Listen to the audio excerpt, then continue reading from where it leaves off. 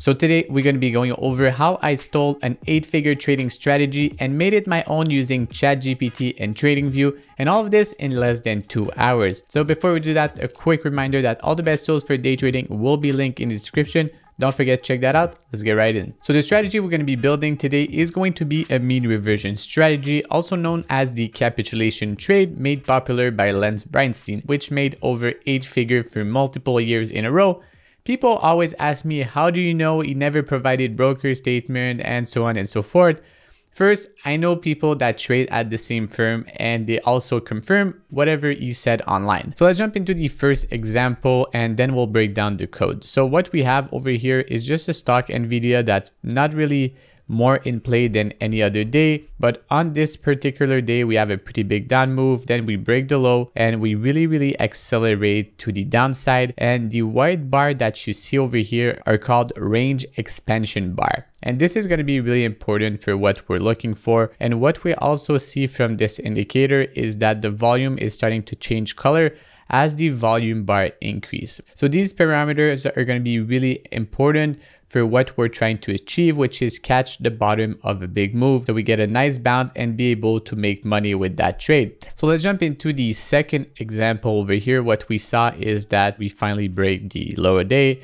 And over here, we have this really big range expansion bar on really high volume. And then we have over here another big range expansion bar on high volume and this marks a bit of a bottom over here that you can catch a pretty nice bounce. And when we're trading, we're only trying to catch a certain part of the leg. You can't really catch everything. And this is what it's supposed to help you with. And now let's jump into our last good example. And we can see over here that we had a range, stocks is not doing much. Now we're starting to get these big range expansion bar and we capitulate to the downside and we're able to catch move to the upside. So if we open this Pine editor over here, we're to see the actual code and we'll make it just a little bigger so it's easier to read. And we can see we're using the version 5, even if they update it using ChatGPT, you're to be able to adjust it depending on when you're looking for this. But the prompt started with this. I was listening to a video I made about Lance and his type of trading strategy that he talks about the capitulation or how to really, you know, take advantage or which one are more important and so on and so forth. So that being said, um, what I did is I went into ChatGPT while I was walking. So forget about the typo because there's a lot in that.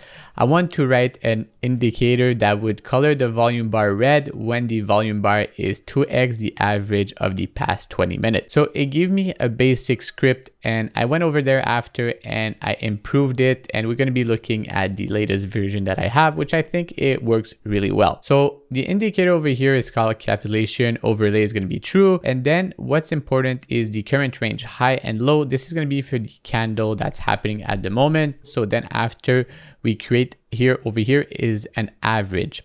This is going to be super, super important because if you feel that you're using a different time frame and it doesn't trigger enough or it triggers too much, this is going to be one of the value that you will need to adjust. So this is going to be the average range. So how many bars you're looking for this? So are you looking for 15 bars prior or 20 bars or 30 bars? I felt like 15 was pretty good for the type of stock that I trade. By the way, if you enjoyed the video so far, don't forget to like and subscribe. I also did link all the best tools for day trading and investing and the link to this indicator if you're looking to download it. So let's get back to the video. So then we go to the next over here bar and I'm looking for something at about a 1.5 is average size of a bar. So when we close this over here and we look at these, we can see that they're going to be about 1.5 times the average of the 15 prior bar. And this is what we're trying to achieve. And as I mentioned, if you think it's triggering too much or not enough, you got to be able to play with this and go back to a chart that you like and really adjust it. And I added some variable. It was showing a lot of stuff in the pre and post market. For example, the first bar of the day was always bigger than the pre-market action. So that was always triggering the indicator, which was a mistake. It shouldn't happen because there's no really big range bar. It's just the first bar of the day. So over here, I say that it starts at 9.59. I don't want it to really trigger before that because this strategy is not going to happen before this. If it does, it's just like a morning flush, which is not typically what I'm looking for. And then I want it to end at 359 because I don't want it to trigger in the after hour. This is not for that. So after that over here, we just pretty much color the indicator and we just set it on the chart and this is what it looks like for the bar. So over here, this is the one, um, you can change the bar color or the actual visibility, like if you want it more transparent, less flashy or something like that.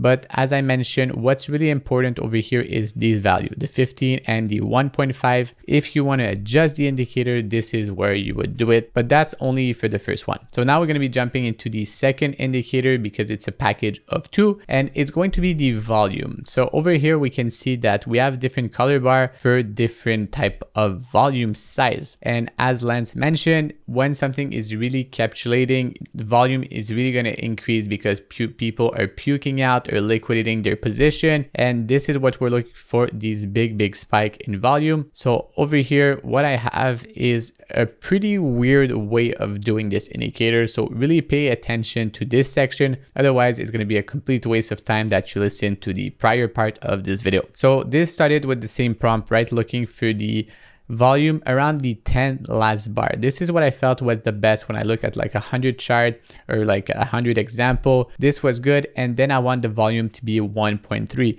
I try to make this bigger or like a higher percentage of the bar. So like example of 1.8, then I go update and then I close it. But I felt like it wasn't really triggering. So over here, what you really need to do is you need to go into this little thing and then you're going to need to change the size. It's going to be really important if you want the indicator to show up.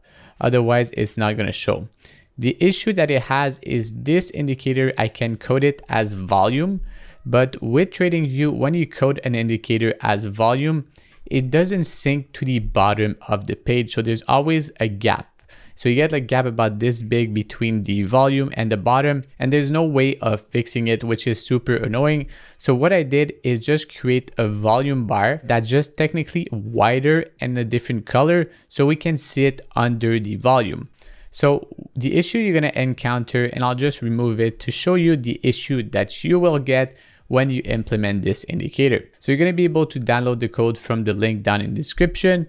So we're going to click over here, volume calculation. And what we have over here is an indicator, but this is the issue. And this is the gap that I'm talking about. You can see over here, there's a big space and it's super annoying uh, when you have like a space at the bottom for absolutely no reason. So what you're gonna need is a normal volume. And over here, what you're gonna do is go over here, then move existing pan above. And as you can see now there's an issue with the margin over here. So what you need to do is right click and say merge all scale into one and it's going to be on the right. So now we can see that the indicator is just below this one and it's currently sync um, over here on the right. When this is done, the next thing you're gonna do is make it bigger. You can choose the width that you want or anything like that. If you don't put it bigger, what's gonna happen is you're not gonna see it. So over here, what you need is just to click over here and then make it bigger. So then it highlights overall the bar on the outside. So this is really how you set it up. Normally, if you do everything I just mentioned, it's going to be totally fine. And I'll just put the code in the description as mentioned. So thanks again. Peace.